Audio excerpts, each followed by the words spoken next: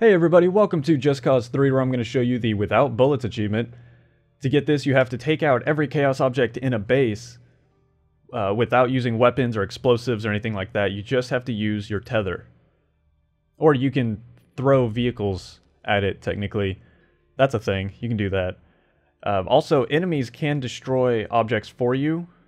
So if uh, a helicopter starts bombing you and happens to destroy something, that's okay you can use them to your advantage. So long as it's not you shooting it, uh, you're good to go. So I chose the Cima Leone silo base, kind of dead center in the starting island, because I think this is the one of the easiest bases in the game, and there's not a lot of large objects. You want to try to avoid as many large objects as you can when doing this, especially if you're going into it without any kind of upgrades, which I am. I have no upgrades on my tether whatsoever yet. Uh, this is actually pretty early on in the game. Uh, so if you're wanting to do it without upgrades, then you want to avoid large objects, especially like a, I, I forget what they call it, I think it's a satellite array? It's something like that. It's a huge satellite dish. You'll know it when you see it. They're pretty hard to take out without kind of without vehicles. Uh, you can, or without weapons, sorry. You can drop vehicles, so if you tether like a jeep to a helicopter, you can drop the jeep onto it, and that does a lot of damage but you'll have to drop a lot of jeeps to blow it up. and It's just a pain in the ass. It's better just to avoid it altogether if you can. So, yeah, you can kind of see the whole base here. This is most of it. It's a lot of transformers, a lot of, like, um, what, fuel tanks and small satellite dishes. Nothing too crazy or too large that you'll have to take out. So, I think it's pretty easy. There you go. So I'm just going to leave you to enjoy this video. Uh, if you have any questions or comments about it or need help figuring out how to destroy certain objects, feel free to let me know down in the comments and I can kind of break that down for you. Otherwise, I show you a lot of the objects you'll be dealing with right here anyway. So there you go. Thank you very much for watching. If you want to check out some more Just Cause 3 videos, I do have a playlist linked at the end of this video. I'd appreciate it if you check that out. There's some cool stuff in there, Easter eggs, achievement guides, stuff like that. So there you go. Thank you all very much for watching, and uh, I'll see you later.